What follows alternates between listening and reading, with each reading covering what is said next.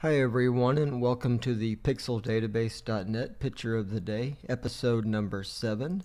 In this video I'm going to go over here and this person got a pie made for them and I didn't get a pie made for me but this pie does not meet the official Blazor color recommendations so I'm going to fix that for them if they don't mind. So what we're going to do is just save this image. I am going to say Blazor pie sounds like a good name and now I'm going to go over to my website which is pixeldatabase.net I'm going to select sorry let me go to that folder.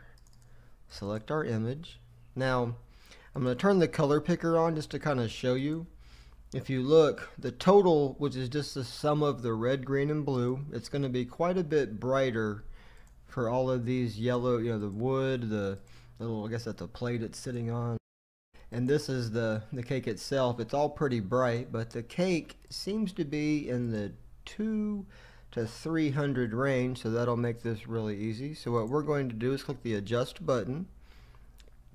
The first thing I want to do you'll notice Blazor colors are kind of a purple color but what I want to do is there's already a lot of green in here so I'm just gonna say set adjust green I'll do about minus 75 and I'm going to say where total and I'll just say less than 300 let's see what happens. Okay that did a good job. The only thing is it did a little bit over here kind of in the corner. So I'm gonna hit undo. And the easy fix for that is just click right here. Get us a new line. I'll just say X less than this and that way everything to the left about where my mouse is just hit apply. And that gets us our Blazor color. Now that's I'll just click it again to kind of show you. Our color is actually even lower. Our total value is lower than it was but that's still going to be less than 300 so this was really an easy image because of the the other colors were all pretty stable.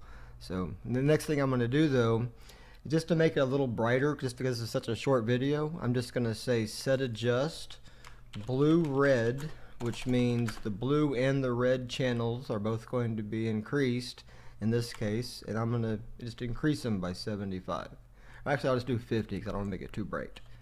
Let's see something like that. Okay that's I don't know what the official Blazor colors are but somewhere between the the two that I just showed I'm gonna go ahead and download this and show them just in case they think it's neat Alright, well thanks for watching. This was a really short video, but I wanted to, I saw that Blazor photo and I go, well that's not the Blazor official color, so hopefully they uh, will like the new uh, edit. Alright, have a great day.